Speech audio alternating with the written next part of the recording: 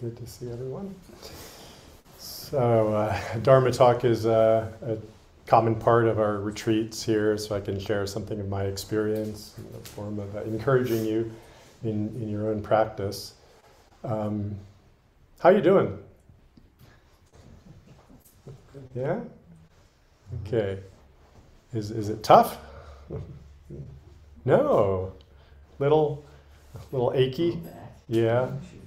Yeah. You know, when you're not used to silence and stillness, the body and the mind tend to resist the silence and stillness. It can be challenging. But as you adapt to that silence and stillness, body and mind, um, it's in this infinitely rich field that you draw nourishment from. So I'm, I'm glad. I'm glad you're feeling it, and um, it'll get even more in flow and more uh, deeper even in the next few hours. We only have a few hours left in this in this day, um, so it'll get even more in flow. It's kind of like um, these retreats. We come in and we're all ice cubes, right? We're all kind of intact in our own selves, and then doing this practice with this level of concentration and collective energy. It's like the ice cubes start to melt, and the field becomes more fluid and connected between us. So that's really, it's really wonderful. It's really powerful.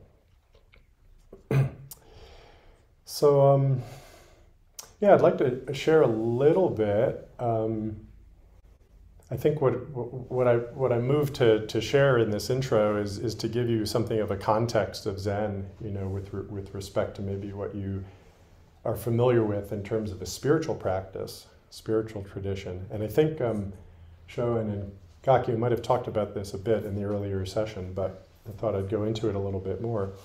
Um, I have a question. So just you know the, where you come from, and and I, I want to say, I, when there aren't as many people, we can start off where we get everybody sort of sharing why they're here and where they're coming from, and we weren't able to do that because we had so many people. So I'm a little bit at a loss because I don't know exactly where you're all coming from. but I also know where some of you are coming from because I met you a few weeks ago in the CU session that we had. Um, so I know some of you. But um, so how many how many were raised uh, Catholic? okay, how many were raised in a Protestant denomination?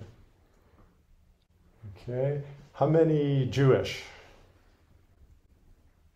Okay, how many Muslim? Any? Okay, how many uh, an, another tradition? Okay, what might that be? Baha'i. Baha'i. Oh, mm-hmm. yeah, welcome. And then how many kind of with maybe nothing? oh, okay. Okay, great. Padma, you're, you're Jewish and nothing? oh, okay, okay. Yeah. Um, Right. So we, we've, we've all come from some context of what, of what a religion or a spiritual tradition, you know, might be. Even those who maybe weren't, didn't have something specific, being, being growing up in America, you probably had an idea of what a religion was or what a spiritual tradition was because you had neighbors and friends who, who kind of did that. So I want to I want to just talk a little bit about Zen and Buddhism in contrast to to the religious and spiritual traditions that we that we you know kind of have for the most part in in in the West. Um, and I'm making big generalizations, so I apologize about this. And we've got an Episcopal, Episcopal bishop over there who's um, will, will uh, I, I, don't want to overgeneralize, so he'll, he'll keep me true. um, yeah, but, uh, but I think there is some value um, because I want to bring something out about Zen and about Buddhism, which I think is really important. So, you know, in, in general, I think the way that, certainly the way I was brought up in, in the Catholic Church, it was kind of a, kind of a hierarchy almost where there, were, there was a belief system that over, you know, stood over everything. Um, then there were some teachings that were derived from that belief system, and it kind of explained and talked about, you know, what the belief system was all about and how to how to be in accord with the belief system. And then there are practices, which is actual doing that and putting that into, into place. And Buddhism is kind of the opposite. it's based on the practices, it's based on the experience, right? For each of us to have the experience. The practices, the teachings come from the practices. They come from people, beginning with Shakyamuni Buddha, the historical Buddha, who did certain practices, primarily meditation, but other, other practices as well. And then the teachings are expressions of the realizations and the understanding that came from those practices. And then instead of belief, I'm going to put another term in Buddhism, um, which is faith instead of belief. And faith is, it's kind of a, am going to call it a form of knowing, actually. You could say gnosis is the word. It's a form of knowing that isn't a conceptual knowing, but it's something, it's a deep kind of recognition about our true nature that actually comes from the practices, it comes from the teachings, and it comes from perhaps even a memory or a sense around what really is going on at the deepest level within. And so the more we do the practices, the more we understand the teachings, and then develop our own teachings and expression, and then our own faith, which is our know our own knowingness about who we are, actually grows and grows and grows even more. So it's a it's a path of cultivating this. Um, Zen is, um, I think maybe this was shared earlier today, but you know, Zen formally was born in China, and it kind of was born when the practices and teachings of Buddhism traveled from India, northern India, where the Buddha lived, in 500 BC. A thousand years later, in 500 AD, they had been, you know, spreading from India over a thousand years. God, can you even think about these time frames? It's amazing. You know, a thousand years. Buddha lived 2,500 years ago. Been practicing Buddhism for 2,500 years. It, w- it wouldn't still be, we wouldn't still be doing this if it didn't work in some way, right? Meditating and, and practicing this Dharma, you know, revealing this teaching generation after generation. So the Buddhist teachings and practices kind of permeated into China. And China, one of the most deepest, I don't know if it was the most widespread, but I would say arguably one of the most deepest uh, spiritual traditions was Taoism at that time. And we say the kind of union of Taoism with Buddhism produced Zen. Zen was a very experiential, very uh, connected to nature, very much um, realizing ourselves as parts of nature, parts of the elemental flow that nature manifests the flow of water, the power of fire, you know, all of these elements that are intrinsically a part of us and which we are which we are made of. and that all of these elements actually are not um, inert, they're actually animate. and so this mind this, this quality of mind is all pervasive in Buddhism. And what we're doing in Buddhism is we're getting touch in touch with this level of mind, of consciousness that permeates all matter and all beings.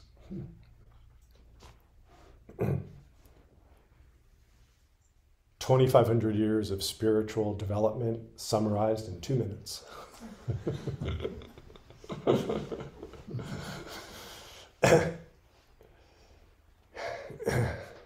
so Zen, the, the practice, you know, the practice comes first. Um, and even Buddha said on, on his deathbed, you know, be a lamp unto yourself. Don't take anything that I say, that I preach, that I teach on my word. Okay, don't raise me up to be a God. Don't give your authority and your power up to me or to anybody else. Experience it yourself. So Zen really just took that um, really strongly and said, okay, we're going to do the practices that allow us to wake up to our true nature in this lifetime. Okay, there's no there's no idea of multiple lifetimes and we're going to unfold and develop under multiple lifetimes. Maybe those exist, maybe they don't.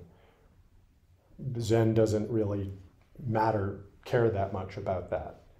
Zen is about this world, this life, this moment. So it's all here right now. So don't don't worry about future lives. Don't worry about past lives because it's all discoverable right here, right now, if you look deeply enough inside.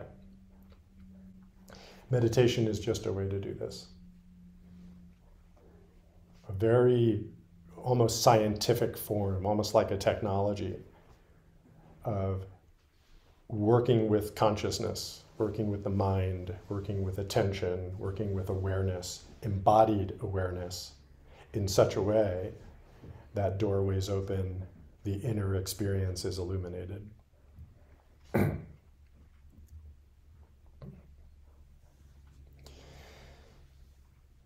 So we have a, a, really strong teaching in our Zen tradition, which is to study Buddhism is to study the self. Have you ever heard it said to study Christianity is to study the self? to study Judaism is to study the self? There's, there probably are traditions in both of those that do orient in that way. But this is very explicit in, in Buddhism and particularly in Zen. To study Zen Buddhism is to study the self. So it's not about God, it's not about divinity, it's not about anything out there, it's about in here. Studying what's in here. and meditation is the primary form of studying what's in here. It's a very, very um, powerful practice of doing that. That's what it's all about, studying. there's another translation of that phrase, study, that comes from the Japanese, the, the Japanese teacher Dogen, to study Buddhism, study the self. That study can also be understood as to repeat over and over. right? So just repeat over and over and in such a way that you're really internalizing and embodying what you're doing. You're bringing high awareness to it. And through that process, you kind of lose yourself in that. So you lose yourself, you forget yourself, and you become fully present with whatever you're doing. So how many how many of you are proficient in a musical instrument? Okay, how many are athletes? Yeah, or have been athletes in the past.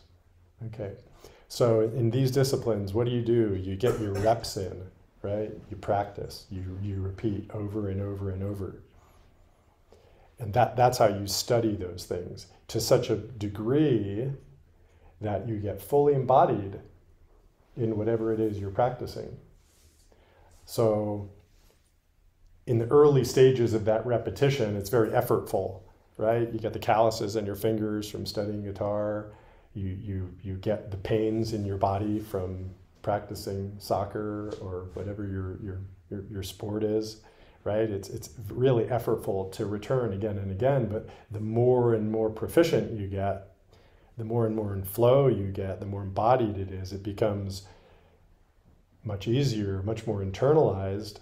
And now what do you have? You have freedom, right? Before you weren't free when you first started playing the violin, you know, you, you didn't have a lot of range of expression, or, or none in my case, no range of expression on the violin, right? But, but through that course of disciplined practice, of repetition, you open up a capacity of great freedom. Now you can express yourself just naturally, intuitively, okay? That's what you're doing with the study of the self in meditation. It's effortful at first, but by returning over and over again to yourself selving, whatever that may be, however it, you're manifesting, you start to have access to this freedom of expression to be who you want to be in the moment, not constrained by ideas of who you're supposed to be or what you're supposed to do or anything like that. you gain great freedom. So that's kind of the fruit of this of this study, this practice.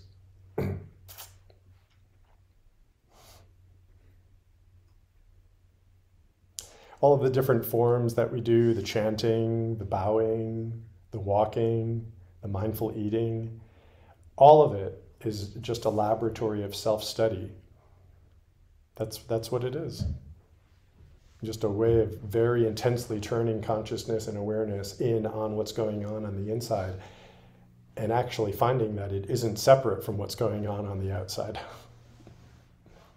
right? Because so much of our orientation normally with this egoic consciousness we have is about, well, I'm me, I'm fixed, but I want to be happier, I want to get more things, so I'm going to work on the outside and I'm going to, you know, get this job or get this beautiful partner or uh, eat this food or do this drug.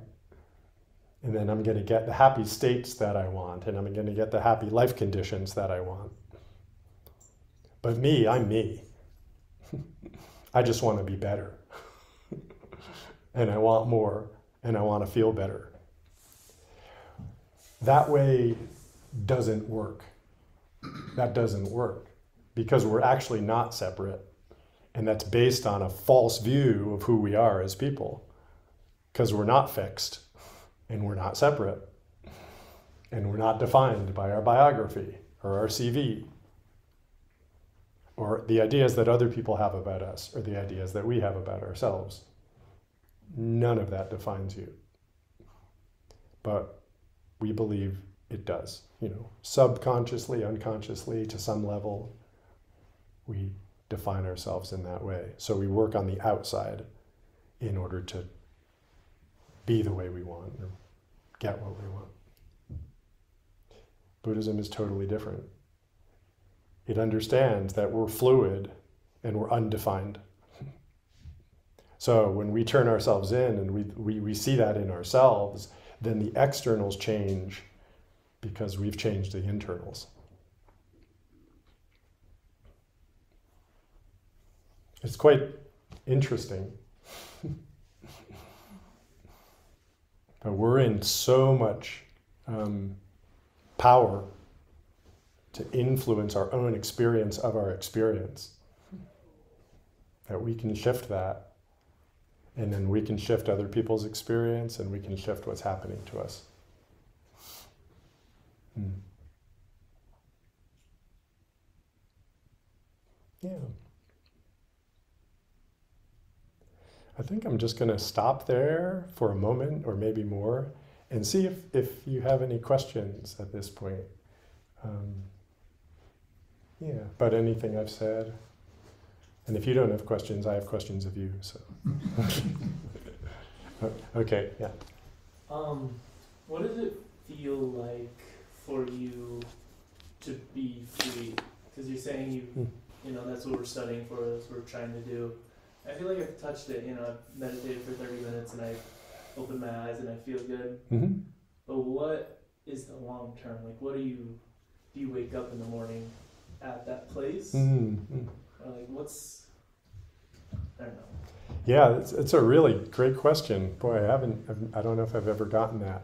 So I'm going to say you, you've tasted it, right? You've tasted that sense of freedom um, where you're not, you're not, you know, burdened or held down or somehow stuck, right? It's more of that. yeah. Yeah. You know, I mean, I, to be specific there, you know, I, I wake up in the morning and I, it's not like I feel great every day. It's but the freedom is um,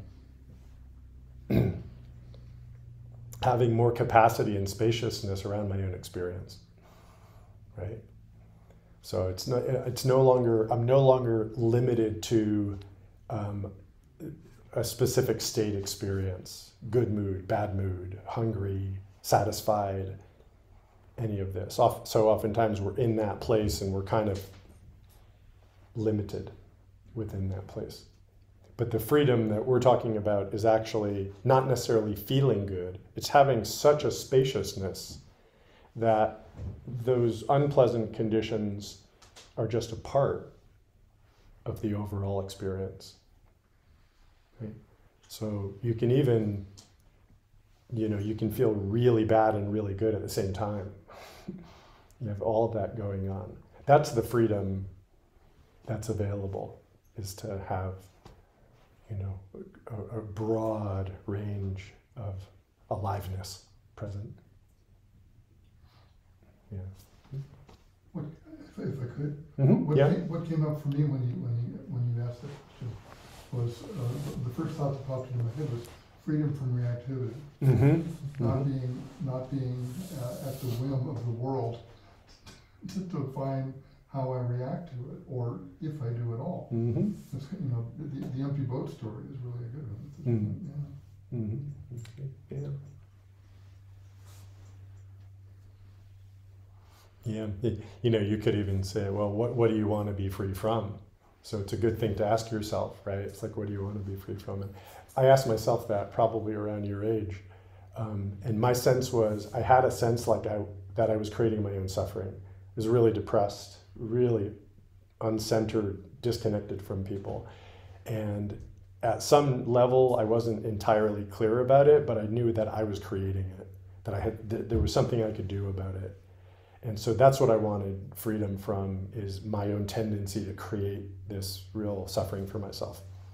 And, and I found that in the practice. Yeah. So you can ask yourself too, what is it that really is holding me back? What is it I want to be free from? Yeah. Anyone else? Yeah. What are your thoughts on the compatibility of Zen with another religious practice um, that might be more of an affirmative belief system, such as Catholicism? Yeah, yeah.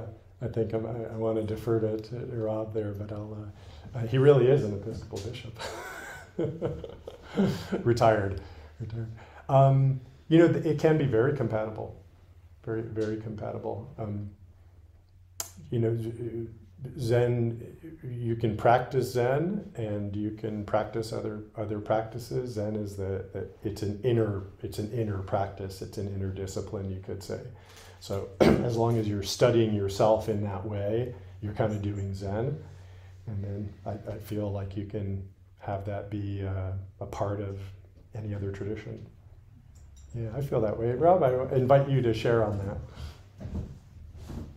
Um, well, I do come from out of a Christian tradition, but and I've been practicing um, contemplative forms of uh, meditation for the last forty years, and um, my teacher forty years ago, um, I mean, what what he was teaching in terms of practice and method of meditation is absolutely in line with what I've learned and studied in Buddhist Christian dialogue. So there's no, I don't find any um, issue there at all.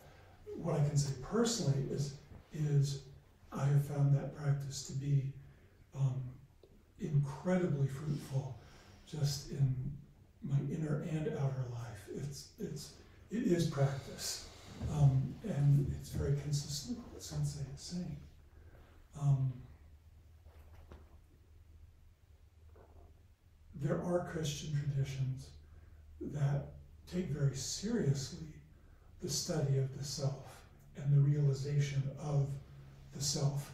The language can be different, um, it can be a different approach. Um, but my practice in Zen is what it uh, actually always has been. I get up in the morning and I sit. And then I go about the day and I continue practicing.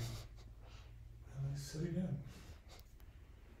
And I study and I try to adopt other practices that will open up my own um, heart, mind, body, um, whether it's uh, acts of generosity or service to others, whatever it is, um, all are part of the same fabric. And then, and I try also just to constantly advocate for um, justice, peace, life. Thank you. Rob. Was that a, uh, a satisfying answer for you? Okay. Any other questions at this point? You said that Zen doesn't say anything about reincarnation, or is that just kind of it's up in the air, or is there any, like, is there a book like that has the the theology of rules. The, the Bible on Yeah, the reincarnation. Bible. Um, no, there, there, there isn't, you know, because of the. Uh, Zen, Zen actually quite expressly doesn't work with reincarnation at all. But, you know, Buddha, if you go back to Buddhism, more traditional Buddhism, um, there are things that the Buddha said about, about reincarnation. Um, but even he um, didn't, put, didn't put that first, you know, he didn't, he didn't want the practice to be metaphysical in that way. Um, the, the, the, the teachings are more about karma, you know, which we can really practice with without thinking about past lives or, or future lives. It's more about, well, everything we do, think, or say, body, mouth, and thought, the three dimensions of volitional action that create karma, create karma. everything we do, think, uh, do, say, and think um, is a seed that produces an effect in some way. So to be aware of that and what you're creating is a really powerful practice that is, you know, an important part of Buddhism, as well as um, atoning for what you what, what you've created in the past or what has been created in the past, even pot- potentially collectively. You know, you may be part of a collective or a generation or a, a lineage that created some effect, good or bad, negative or positive, and then you are, are a participant in that in some way. So you can atone, you know, for that. But you know, I haven't said anything about past lives or future lives and all of that. So that's our that's our focus in Zen. Yeah. This isn't a very philosophical question. Great. What is the significance of uh, knowing the proper word the vests and the colors? This? Yes. Yeah, so this is called a rakusu. We we sew these when we take the Buddhist vows, the lay Buddhist vows, the precepts, which um, we have we have people taking the precepts here. We have people taking precepts in a few weeks in a ceremony. So we sew this, and the, the historical tradition of the rakusu is that it came from a period in Tang China when Buddhists were actually persecuted. They had it gotten so popular and so powerful that then another regime came in and said the Buddhists would have too much power, so they persecuted them. So this is like a miniaturization of the robe that people would wear into this uh, miniature version that they could tuck underneath their regular clothes. That's that's the lore. I, I think I think it's accurate, actually, but um, it's quite symbolic. It's we call it the chant we did earlier this morning. We say, "Vast is the robe of liberation." A formless field of benefaction, I wear the Tathagata's teachings, saving all sentient beings. And you might have noticed that those of us with rakusus, we put these on our heads when we chant that, and then we put this on. So this is the robe of liberation, and it has these uh, different parts which um, are meant to represent a rice field, the terraces of a rice field, because it's the nurturing, nur- uh, nutritious, nurturing teachings of the Buddha. Is there a significance to the colors? Uh, there is a significance to the colors. This is a teacher. The teacher color in my lineage is purple. Shoen is a Dharma holder, so he's like an assistant teacher. That's the green, and then uh, everybody else is black with the regular. Okay. Okay, we have we have a few more minutes, and I I, I guess I want to say um, uh, again, how are you doing? is is there what is there anything that's especially challenging for you? Is is there some is are things opening up for you? I'm just curious to hear a little feedback on how things are going for you today. Yeah. I um, I think I came into it with, uh, oh my, what have I got myself into? Eight hours of meditation straight, and I do meditate. Mm. But uh, I've really embraced uh, the opportunity to be in this space and Mhm. have the permission to just not speak. Yeah. It's really beautiful. Mm, yeah. Really enjoyed it. Mm, thank you. Thanks. Thanks for that. Can I hear a few more check-ins? I'd like I'd like to hear just to connect on how how people are doing. Yeah. Okay, and then Isabella. Okay. Okay, you go first. I was just gonna say I agree with what you said. Like I came into this really excited, but also just really, really tired. And really struggling to put my energy where I wanted it to be. Like if Mhm. I had like such strong intentions coming into it, and I felt like my tiredness like dulled that out, and that was frustrating to me because I couldn't be as present as I wanted to. Mhm. But just being here and letting myself like fully embrace like where I am and like being here and sitting through different like sittings and like being present, just like in this space like around different people really helped me focus my attention to a better place and like say like I'm here for these eight hours, like I'm going to bring my intention where I want to and like get out of it what I want to and like whether I'm tired or not, like it's up to me how I face that and how I go about it. Mm, very good. Yeah, the power of the commitment to come and, and do it, and then you're going to bear, you know, see the fruits of that. So, as Arabella described, you know, the, the, the concentration actually builds, and then it gets, the body might get more and more sore, you know, as the day goes on, and maybe even more and more tired. But you're developing the inner samadhi, what's called, the, the energy of concentration, that makes it actually easier to deal with the discomfort and the fatigue. So it builds, and it's a really, really nice process. So we've got a few more hours to have that build, and you'll be able to enjoy it. Things are like definitely opening up. It's kind of like a strange feeling. Mm. Like I'll have these thoughts, but then I'm trying to like bring myself back to it's just, just the experience. Just see what you're experiencing, but like the thoughts keep Mhm. coming. And then earlier today, I was like looking at the floor and like these faces just started like popping up. Me too. I kept seeing these faces, So and Yeah. they just like kept morphing into different things. So many faces. And then I don't know. In Sigmund's class the other day, it was like, "What is it? What is it?" And that keeps popping up, and then like, "What is it?" Hmm Yeah, yeah. So, so you really you're opening up these uh, dimensions of your mind and your your imaginative uh, faculties, which are very powerful. Yeah, start to work on your sense experience in a certain way. So we say, don't get attached to any of that. Yeah. Don't engage with it. Just keep returning to the overall experience.